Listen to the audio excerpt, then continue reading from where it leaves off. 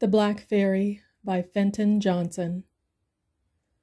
Little Annabel was lying on the lawn, a volume of Grimm before her. Annabel was nine years of age, the daughter of a colored lawyer, and the prettiest dark child in the village. She had long played in the fairyland of knowledge, and was far advanced for one of her years. A vivid imagination was her chief endowment, and her story creatures often became real flesh and blood creatures. I wonder, she said to herself that afternoon, if there is any such thing as a colored fairy. Surely there must be, but in this book they're all white. Closing the book, her eyes rested upon the landscape that rolled itself out lazily before her. The stalks in the cornfield bent and swayed, their tassels bowing to the breeze, until Annabel could have easily sworn that those were Indian fairies.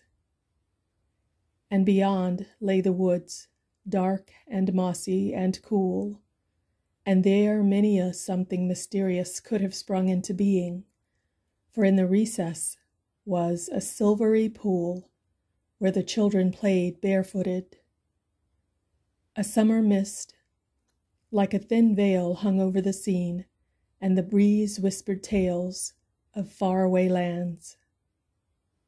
Hists! Something stirred in the hazel bush near her.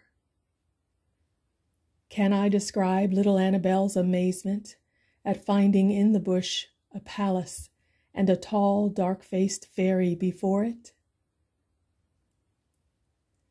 I am Amenophis, the lily of Ethiopia, said the strange creature, and I come to the children of the seventh veil. She was black and regal, and her voice was soft and low, and gentle like the Niger on a summer evening. Her dress was the wing of a sacred beetle, and whenever the wind stirred, it played the dreamiest of music. Her feet were bound with golden sandals, and on her head was a crown of lotus leaves. And you're a fairy? gasped Annabel. Yes, I am a fairy, just as you wished me to be. I live in the tall grass, many, many miles away, where a beautiful river called the Niger sleeps. And stretching herself Beside Annabel on the lawn, the fairy began to whisper. I have lived there for over five thousand years. In the long ago, a city rested there, and from that spot, black men and women ruled the world. Great ships laden with spice and oil and wheat would come to its port and would leave with wines and weapons of war and fine linens. Proud and great were the black kings of this land. Their palaces were built of gold, and I was the guardian of the city. But one night, when I was visiting an Indian grove, the barbarians from the north came down and destroyed our shrines and palaces and took our people up to Egypt. Oh, it was desolate, and I shed many tears, for I missed the busy hum of the market and the merry voices of the children. But come with me, little Annabel. I will show you all this, the rich past of the Ethiopian. She bade the little girl to take hold of her hand and close her eyes and wish herself in the wood behind the cornfield. Annabel obeyed, and ere they knew it, they were sitting beside the clear water in the pond. You should see the Niger, said the fairy. It is still beautiful, but not as happy as in the old days. The white man's foot has been cooled by its water, and the white man's blossom is choking out the native flower and she dropped a tear so beautiful, the costliest pearl would seem worthless beside it. Ah, I did not come to weep, she continued, but to show you the past. So, in a voice sweet and sad, she sang an old African lullaby and dropped into the water a lotus leaf. A strange mist formed, and when it had disappeared, she bade the little girl to look into the pool. Creeping up, Annabel peered into the glassy surface and beheld a series of vividly colored pictures. First, she saw dark blacksmiths hammering in the primeval forests and giving fire and iron to all the world. Then she saw the gold of old Ghana and the bronzes of Benin. Then the black Ethiopians poured down upon Egypt, and the lands and cities bowed and flamed. Next, she saw a great city with pyramids and stately temples. It was night, and a crimson moon was in the sky. Red wine was flowing freely, and beautiful dusky maidens were dancing in a grove of palms. Old and young were intoxicated with the joy of living, and a sense of superiority could be seen, easily traced, in their faces and attitude. Presently, red flame hissed everywhere, and the magnificence of remote ages soon crumbled into ash and dust.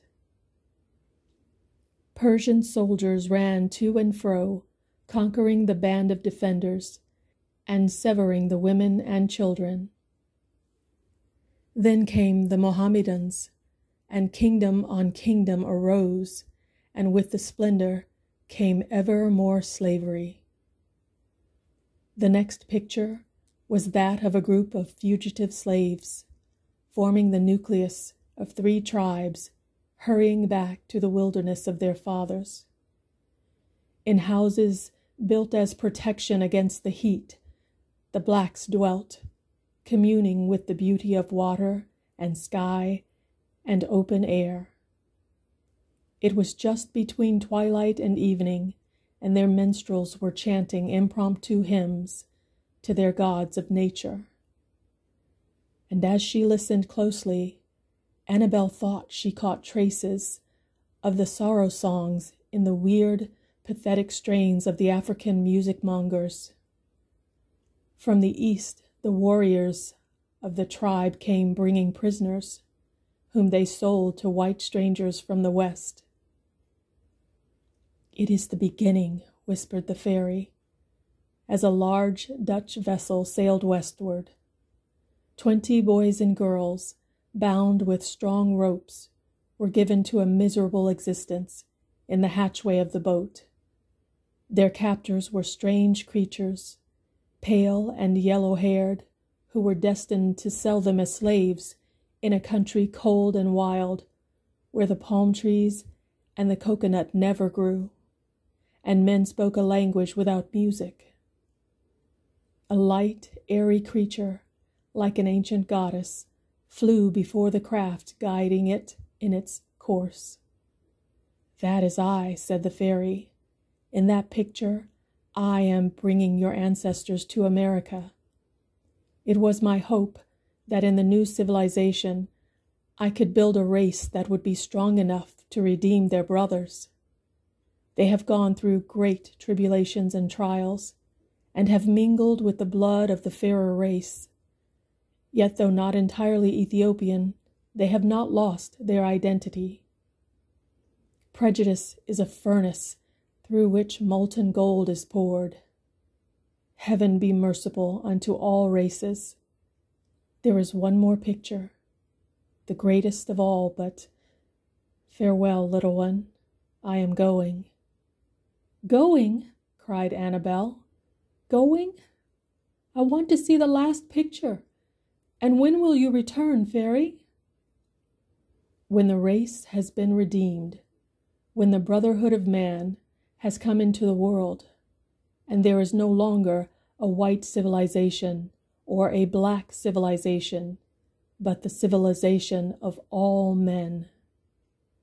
I belong to the World Council of the Fairies, and we are all colors and kinds.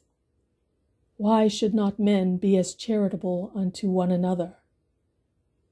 When that glorious time comes, I shall walk among you and be one of you, performing my deeds of magic and playing with the children of every nation, race, and tribe.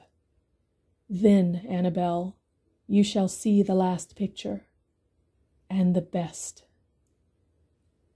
Slowly she disappeared, like a summer mist, leaving Annabel amazed.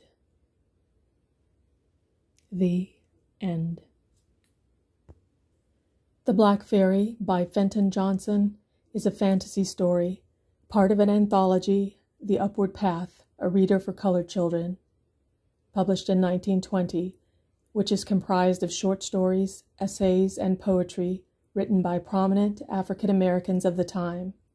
It was meant to aid children in understanding slavery historically and to encourage love among all races.